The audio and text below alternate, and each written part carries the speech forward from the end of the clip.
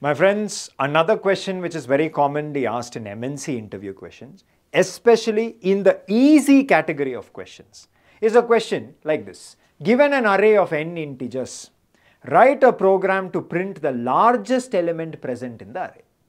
Example, if input is 5, it means n value is 5. Now they will give you 5 numbers, 3, 5, 7, 2, 4. Output has to be 7 why 7? Because the largest element here is 7. Now how do you find this? Very, very simple. Let's look at the approach. But before I look at the approach, I am going to give you some time. You must first try it. Let me see how many of you can do it. I hope all of you got a chance to try it out. Now, those of you who are new to programming, who don't know how to do this, try to understand. First, let's look at the logic. Let's visualize it, okay?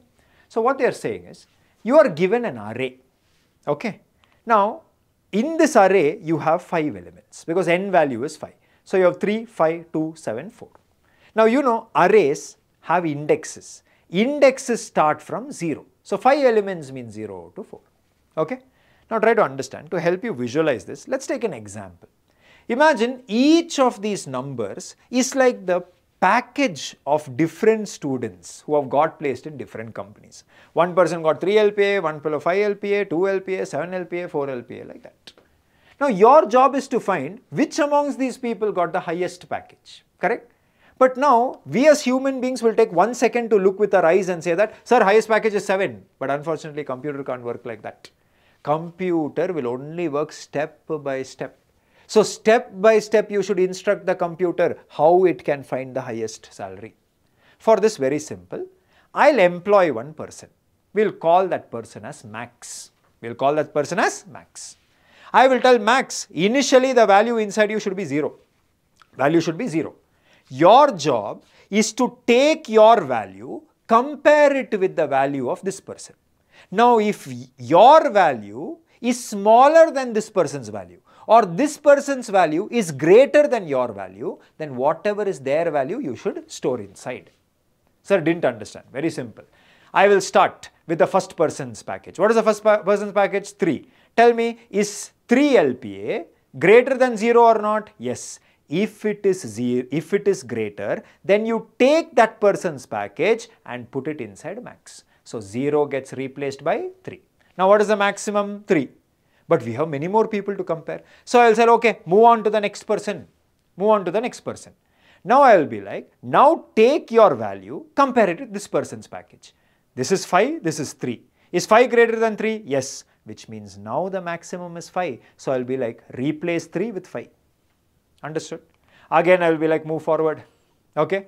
Next, I'll be like, compare 5 with 2. Now tell me, is 2 greater than 5? Answer is no. If it is no, don't touch the max because right now max is 5 only. Nothing happens. Okay, very good. I will move forward again. Once I move forward, I will next take the next person. Is 7 greater than 5? Yes, 100% 7 is greater than 5. Which means replace the old value of max with 7. Am I clear? Again move forward. Check the next person's package. Is 4 greater than 7? Absolutely not. Absolutely not means do not modify max. Is there any more people left out? No. What is the value inside max? 7. Is that the largest element? Yes, that's all over. Understood? Now what I showed you is logic. Now converting logic into code is called as programming. Understood? The language of choice we are going to use is called as Java. But same logic can be implemented in C, C++, Java, Python, Ruby, C Sharp, Scala, Kotlin, any language. Understood? Okay, wonderful. Now try to understand how we are going to be doing this, okay?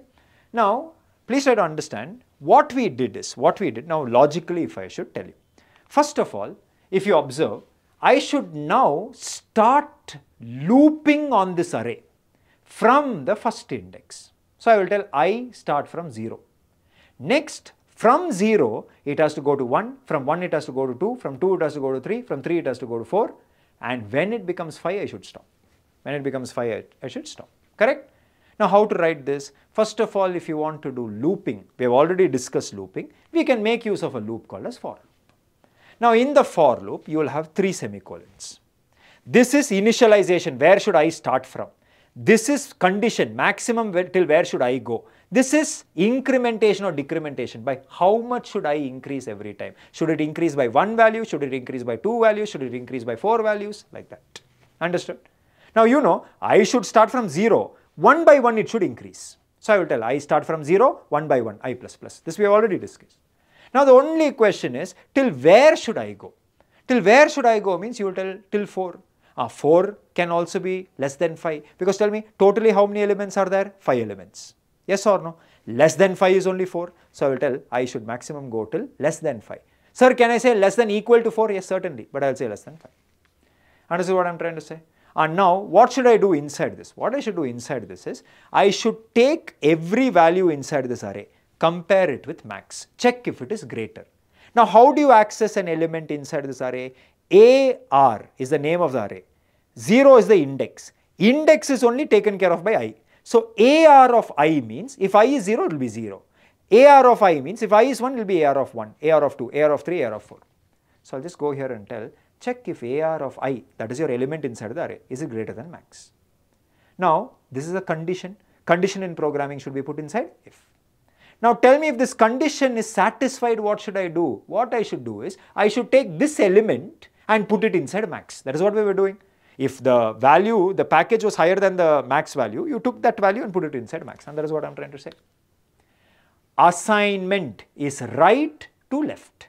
AR of i, give it to max. Max you are not giving to AR of i. Please try to understand.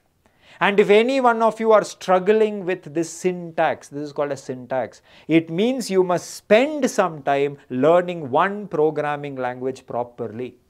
If you don't learn one language also properly, you will never be able to write code efficiently. Logic you may understand, but you'll never be able to implement your logic because you don't have syntax knowledge. This is like some people can speak the language, but they can't read it, they can't write it. Yes or no? For example, I can speak Tamil fluently, but I can't read Tamil, I cannot speak Tamil. I, my, I learned Tamil by watching movies. Yes, but I can't read, I can't write. You will be like me. If I were to go to say Tamil Nadu and I see a bus, I want to go from point A to point B, I'll see the board of the bus. I will not even able to understand where this bus is going. Yes or no? Similarly, you may have the logic, but you'll never be able to write the code. Syntax is important. Am I clear? Anyways, if this much is clear to all of you, then this is only the logic which in a second I can be writing. Let's go and try to look at how we can be writing the logic. Okay. Focus. Now already the method has been created, everything is ready and I told you all this code you will not have to write, already they would have written and given. Ignore this, come on top, your job is to just write this logic n value is given to you. Now I'll come inside. First I'll create that max fellow, int max. int max. Initially what was the value? 0, equal to 0. Next, below that I'll create i, int i, because I need i for my looping. Next, I will be creating my for loop. I'll tell for. Inside that I will go, put two semicolons. Ah, put the body also. Very good. Now I will tell I should start from 0 maximum I should go till i less than, i less than, what should I tell? 5. Okay. Next I will tell i plus plus. Understood? Inside this I will go and put one if condition. If in case AR of i, AR of i, that is my element. If the element is greater than the value of max, is greater than the value of max, then what should I do inside? I should now change max with this value. So I will tell max equal to AR of i which means take AR of i, give it to max. Understood what I am trying to say? Very good. Now I will come outside this loop. Once I come outside this loop and it stops, max will have the highest value. That I will give it back. How to give it back? Return. What to return? Max. That's all. But there is one problem here. Problem here is, what did you tell phi? That is assuming n value is 5. But if n value is 10, now this also should become 10. If n value is 20, this should become 20. If n value is 30, this should become 30. Ah, then instead of telling phi, you make it as n. No, simple. That's all. Make it as n. That's all. If n is 5, 5. If n is 10, 10. n is 20, 20. Understood what I'm trying to say? But first of all, they will give you two inputs here. One is n value, that is the total number of elements, comma, comma. One more thing they will give you is the array. Without the array, how will you do all this looping? What is AR? So 100% here they will give you an integer array called as AR. Two inputs they will give you. N value they will give you, AR they will give you, array they will give you. Understood? Scroll down. Here also, see, when they are calling this function, they will give n also, comma, they will pass this array AR. Two things will be given as input, n value and the array. Scroll up. I hope you are able to see. Is this much clear to all of you? Now let us execute and check. If in case I compile it, if in case I execute it, now cursor is blinking. It is waiting for n value. Assume n is 5. Now if I press enter, it will wait for 5 values. 3, 2, 7, 4. Understood? And uh, one more value, 8. Tell me which is the highest now? 8. Press enter. 8. Again execute. Let us assume n value is 7. I'll give 14, 8, 12, 25, 6. Which is the highest value? 25. Press enter, 25.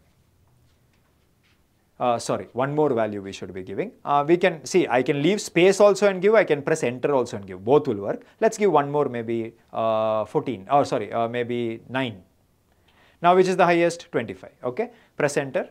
So, here, uh, you know, we pressed enter twice, this will not work, no problem. Control C I will press, I'll just exit this, okay? Clear the screen, re-execute it, ah, give 7, 7.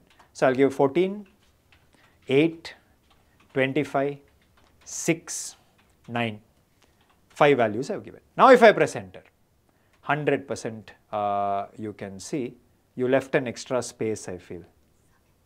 Oh, sorry, sorry, sorry. 7 values, no? Oh, control C, sorry. Age related problems I have, please forgive me. Okay, uh, execute it once more. 7. I'll give 7 values. 14, 18, okay, anything. 14, 5, uh, 25, 7, okay, that is 6 values, one more.